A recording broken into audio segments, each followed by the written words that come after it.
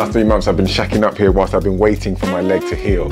But now that it's healed, it's time to go home. Spent three months locked up in this room, just seeing these four walls. I've been up to mischief.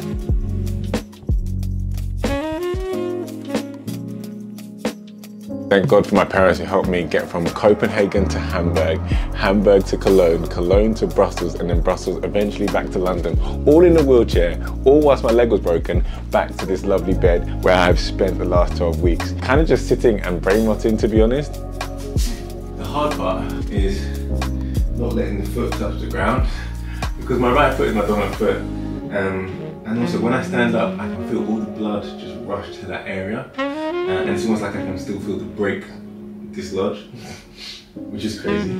Um, yeah, I just need to have a quick shower. So try and have myself a quick clean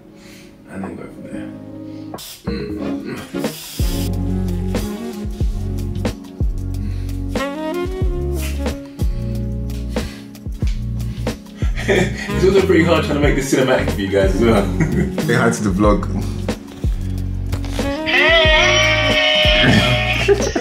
God's supposed to be with us, but he's not. For me, nobody can see you. No? Put your head on the camera at least. These guys are paying me company whilst I'm uh, uh, wasting away in Hamburg. I'm supposed to be with I'm supposed to be with us. I'm, supposed, I'm supposed to be with them right now in Budapest. But I'm not, I'm here in bed because of my own mistakes. Terrible. It's morning here in Hamburg.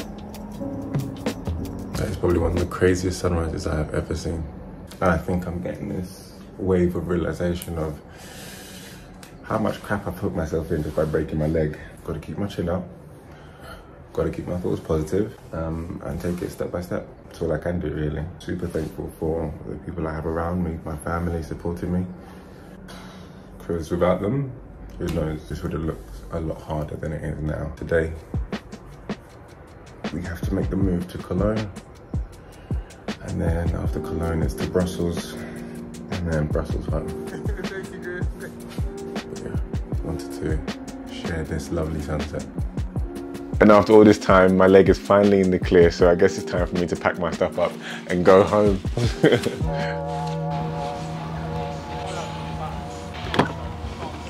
and I haven't actually been back to my flat for the past three months, so it's going to be interesting going back. And I also haven't had much of a chance to post on here.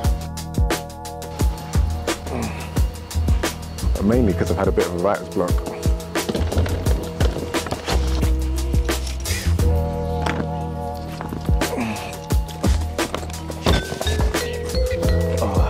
It looks like I've got so much stuff packed in here, but it's most of the stuff from Copenhagen. And then there was a point in between when I went back to the flat to get some of my stuff, like my shoes and clothes, so I could go to my hospital visits quite regularly. I've had like 10 pieces of clothes that I've kept on rotation for the past three months. But for some reason, it's manifested in like three bags.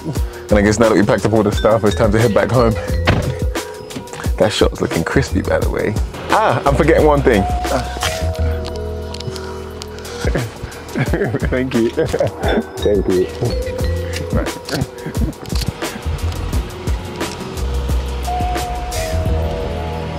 When I first flew out to Copenhagen at the beginning of March for HYROX, this is not how I expected my year to go. Sorry, I've got to stop the story halfway because look, Percy Pig Intermission, these are undoubtedly the best sweets of all time. First of all, deliciousness. Oh my god. The things I would do for a Percy Pig.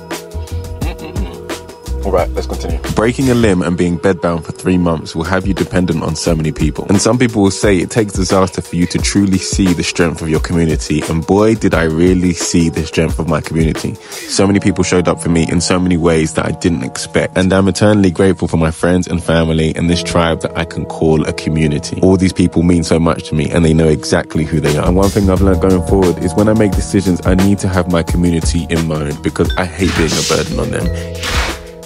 Like that, your boy's back home. I've got so much stuff I need to get sorted. And also I'm just ready to start this new chapter. Got to get my rehab straight.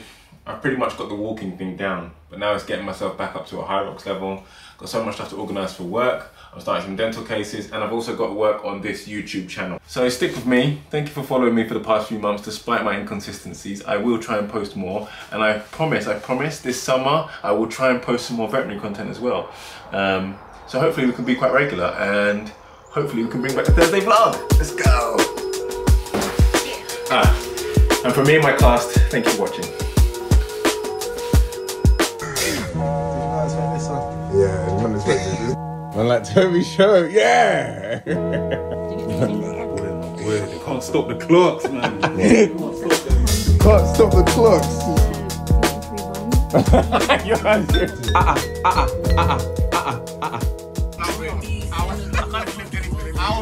Anti Bams.